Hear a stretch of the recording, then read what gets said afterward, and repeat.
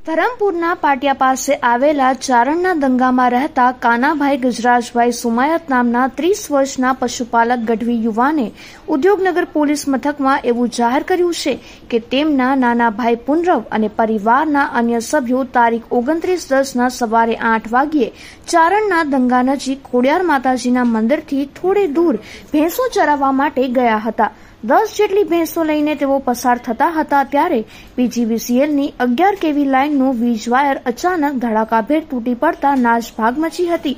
માલધારીની નજર સામે જ આ વાયર તેમની વાલસોઈ બે ભેંસો ઉપર પડતા બંને ભેંસોના ત્યાં જ કમકમાટી ભર્યા મોતને પચ્યા હતા. પશુપાલક કાનાભાઈ સુમાયતે એવું જણાવ્યું હતું કે ભેંસોની કોઈ કિંમત આંકી શકાય નહીં, કારણ કે પરિવારના સભ્યની જેમ જ અમારે ત્યાં તેનો ઉછેર કરવામાં આવતો હતો, પરંતુ અચાનક આકસ્મિક રીતે પડેલા વીજવાયરથી તેમના પરિવારના સભ્યની નજર સામે જ બબ્બે ભેંસના મોત થતા પરિવારજનો પણ ચોધાર આંસુએ રડવા લાગ્યા હતા. આ યુવાને એવું પણ જણાવ્યું હતું કે બનાવ બન્યો ત્યારે સદનસીબે અન્ય આઠ ભેંસ પણ તેની સાથે જ પસાર થતી હતી, પરંતુ વીજવાયર પડતા વીજ શોક લાગ્યો ત્યારે બે ભેંસોની મરણ ચીસો સાંભળીને અન્ય ભેંસો ત્યાંથી દૂર ચાલી ગઈ હતી. એટલું જ નહીં, પરંતુ પરિવારના બાળકો સહિત સભ્યોનો પણ ચમત્કારિક બચાવ થયો હતો. સામાન્ય રીતે દોઢેક લાખ જેવી ભેંસની કિંમત આંકવામાં આવે છે. ત્યારે અંદાજે ત્રણ લાખ રૂપિયાના મૂલ્યની ભેંસોના મોત થયા છે. ત્યારે પીજીવીસીએલ તંત્રની ઘોર બેદરકારીથી આવું થયું છે.